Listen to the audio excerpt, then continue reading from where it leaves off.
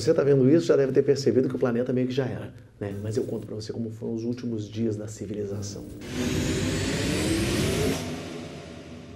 Em março de 2018, o Brasil estava obcecado por um assunto: epidemia da febre amarela. Não, não. O pé do Neymar. Naquele tempo, a alegria do brasileiro pobre era ver um bando de milionário que morava na Europa correndo atrás de uma bola.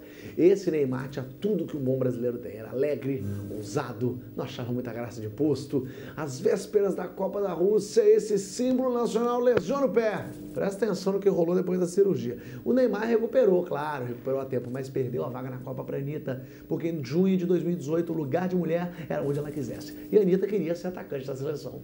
A Anitta jogou demais. Fez um puta de uma dupla com um ataque com o Romário e deixou o Brasil com o Hexa na mão. Sim, aquele Romário, tô falando daquele Romário. É que em 2018 a reforma da presidência foi aprovada e o Romário teve que jogar até os 84 anos. Pois é.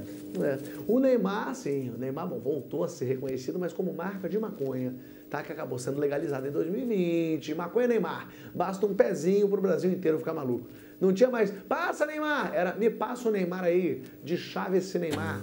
Mas em 2024, Neymar deu a volta por cima no time da Papuda. Naquela época, a Lava Jato tinha prendido tanta gente que o torneio presidiário era mais importante que o Brasileirão. E aí os presos eram tão ricos que podiam comprar qualquer jogador. Pois bem, juntou o Neymar com o Messi, fez um baita de um campeonato pela Papuda, com Cunha na camisa 10, coordenando muito bem a distribuição. E aquela final inesquecível, meu Deus do céu, no estádio Imperador Michel Temer, o vampirão. Neymar era de novo favorito, melhor do mundo, mas aí o mundo acabou.